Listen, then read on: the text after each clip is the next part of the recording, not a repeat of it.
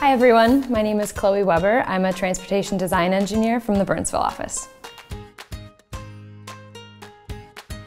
One of my favorite facts is that the city of Carmel, Indiana has replaced all of their intersections with roundabouts. So there's no signalized intersections in the city. There are over 140 roundabouts and counting. They estimate that each roundabout saves about 22,000 gallons of gas every year. This also brings their average traffic fatality rate down to about a tenth of the national average.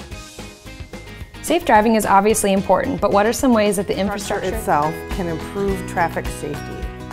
Well, I would say that there are different ways that the actual physical infrastructure could be improved, such as different traffic bump outs or widening in intersections themselves in order to make traffic flow better. And then probably there's some actual technological ways I would imagine. Katie, spot on.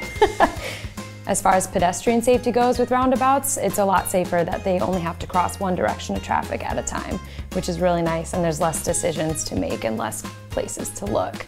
Traffic safety impacts everyone. How do you bridge the gap between technical and non-technical participants to ensure everyone's on the same page? This is super important to us because we want to connect with our clients and the public to make sure everyone is on the same page and has a voice in deciding on what the best treatment for the situation is and how to solve the problem. Um, a lot of times we do this by showing our traffic models or working with our graphics and design group to show 3D animations of what the roadway might look like if it was changed or um, we implemented a different strategy. What are important factors that need to be considered when analyzing a new roadway or intersection? This is fun. So the traffic studies that we do, a lot of times we'll look at a bunch of different things that kind of go into what makes the problem a problem. So we look at crash history and we compare what's going on in that roadway or that intersection with other intersections um, around the state. And we can kind of see how bad just that area is and how many um, accidents and how severe the accidents are.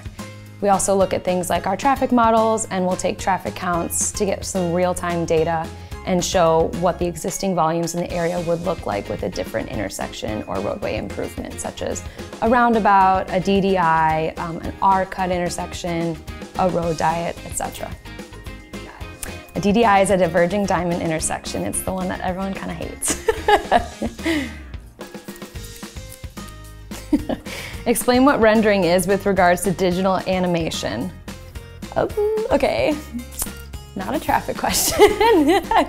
it's basically putting all these tiny little clips, like 2D image, it's clipped together with a bunch of other 2D images to kind of make a video in the end.